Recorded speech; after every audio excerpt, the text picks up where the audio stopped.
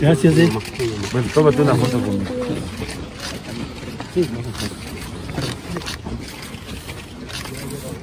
Ese no lo vamos a llevar volando. Gracias por el trabajo. Gracias. Bienvenido.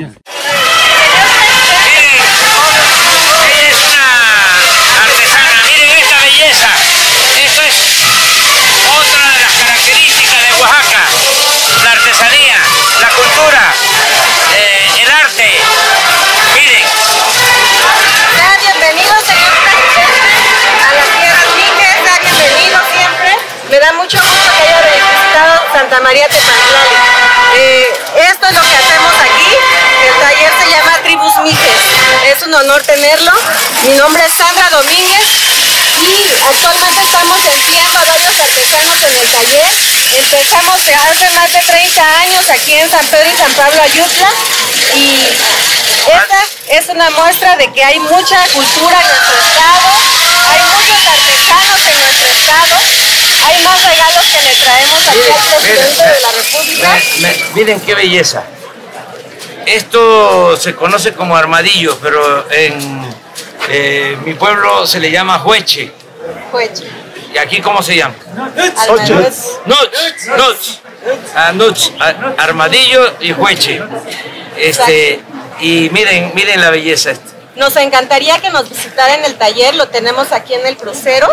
Ahí se elabora desde la madera, el tallado, eh, todo lo que es la pintura. Tenemos a muchachos de la costa, del istmo, tenemos a muchachos de, a muchachos de valles.